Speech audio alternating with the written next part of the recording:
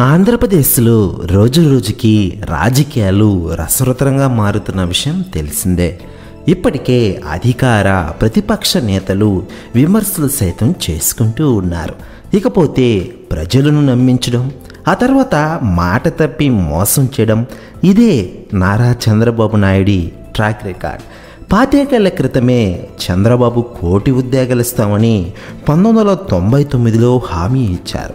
పోనీ చేశారా? ఉద్యోగాలు ఇచ్చారా? లేదు. కానీ తనను తాను ఓ విజనరీ అని మీడియాలో ప్రచారం చేసుకుంటూ పబ్బం గడుపుతున్నారు. అదే ఏడాది రేషన్ సరుకులు సైతం ఇంటికే ఇస్తామని మాట ఇచ్చారు. అదేమైనా చేశారా? చేయలేదు. కానీ మళ్ళీ తానే విజనరీని చెప్పుకుంటారు.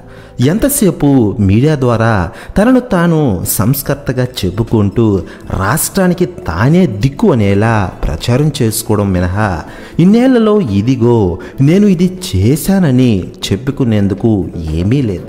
కానీ మళ్ళా ఆంధ్రకు నేనే దిక్కు అంటారు పెన్షన్లు ఇతర అంశాల్లో ప్రజలను ఇబ్బంది పెట్టడమే కాకుండా దాన్ని మళ్ళీ ఎదురు జగన్ గారిని మీదకు నెట్టడం ల్యాండ్ టైట్లింగ్ యాక్ట్ పేరిత ప్రజల భూములు లాక్కుంటారంటూ అబద్ధపు ప్రచారం చేయడం ద్వారా ప్రజలను నమ్మించి లబ్ధి పొందడానికి చంద్రబాబు వేస్తున్న ఎత్తులు అన్నీ ఇన్ని కావు.